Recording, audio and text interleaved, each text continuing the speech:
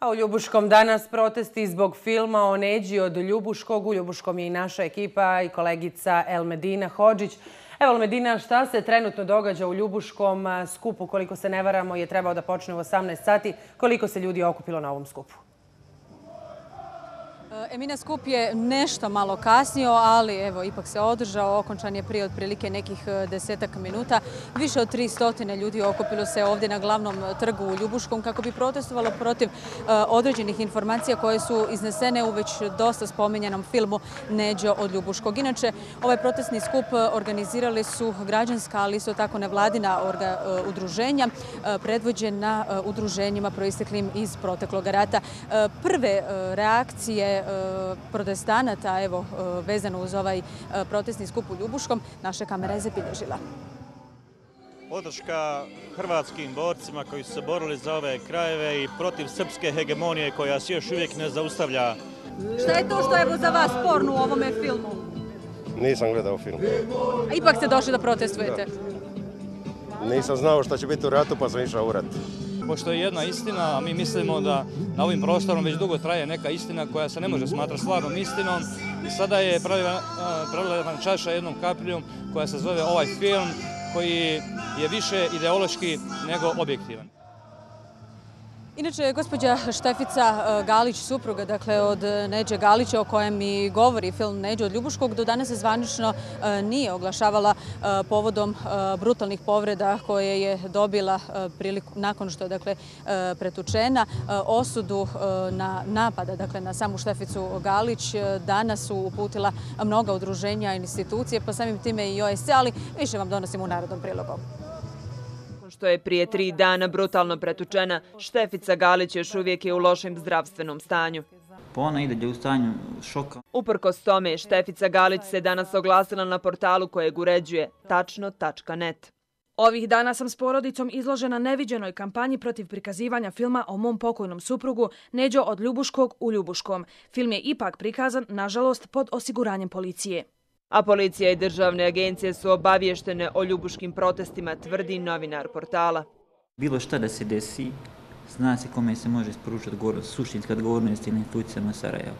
Znači, e, borci za ljudska prava od e, gospodina Srđana Dodarevića do Dunje Mijatović su, zatim svjetska organizacija novina, svi ostali su pozorili vlasti kako se trebaju ponašati. A Dunja Mijatović, predstavnica OSCE-a za slobodu medija, već se oglasila. Ovaj napad treba biti najoštrije osuđen i ne samo od zvaničnih organa vlasti, nego i od društva u cjelini. Reagovala je i autorica filma Svetlana Broz. Proteste u Ljubuškom okarakterisala je kao izraz volje malog broja ljudi, koji se ne mogu suočiti sa prošlošću i nemaju snage prihvatiti vlastitu odgovornost. Ljudi koji se sa njim ne mogu suočiti su ljudi koji ili pate od nedostatka građanske hrabrosti ili u tom filmu uh, vide zapravo ogledalo u kojem ne žele da vide svoje sobstveno lice.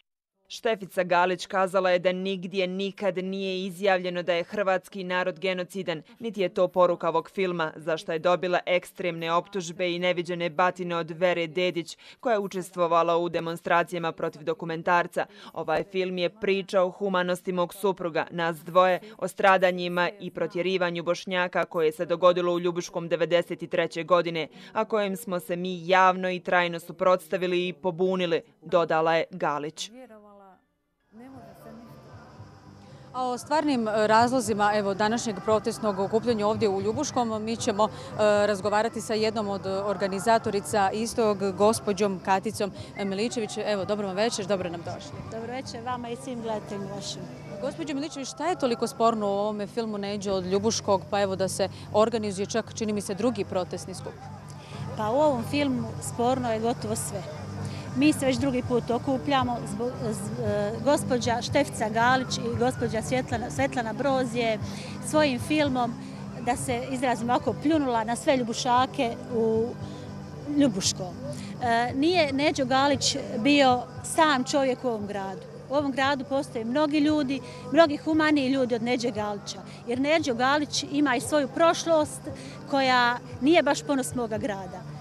Vi ste sami čuli koliko je ljudi za vrijeme komunizma ubijeno, ne znaju se za grobnice, da bi danas mi slavili čovjeka koji je radio za udbu.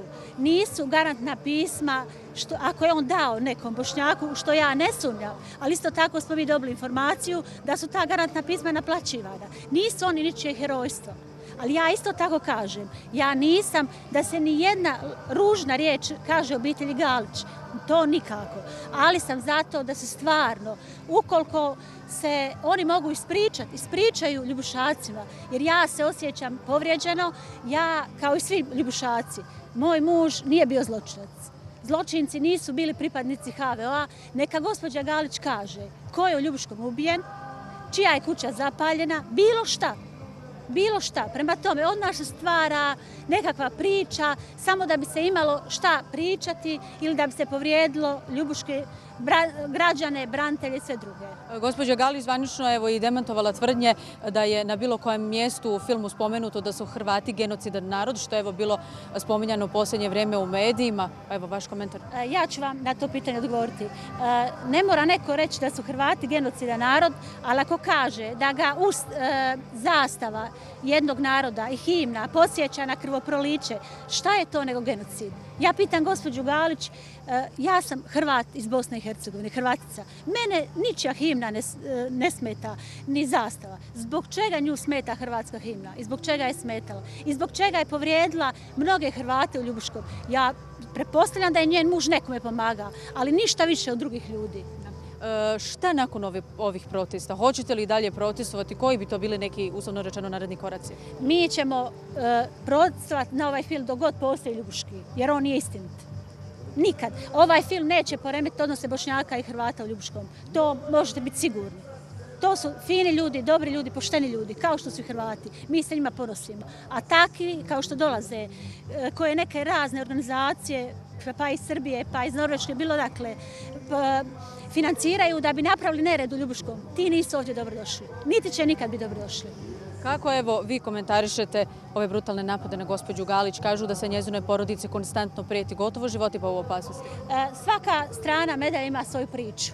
Vi bi možda trebali otići do gospođe Vere Deć da kaže na svoju priču. Svi slušaju priču gospođe Štefce Galić, ali opet kažem, nisam za to da se niko napada brutalno, da se vrijeđa, pogotovo ljudi koji su u toj priči. Mi trebamo se boriti demokratskim sredstvima da dokažemo svoju istinu. Hvala vam najljepša. Hvala vama. Toliko za sada, poštovani gledalci iz Ljubuškog imena, naravno koliko više nema pitanja. Nema Elmedina, hvala tebi. Dakle, iz e, Ljubuškog se javila naša kolegica Elmedina Hođić, a film o Neđi Galiću, poštovani gledalci, moći ćete premijerno pogledati na programu TV1 naredne sedmice.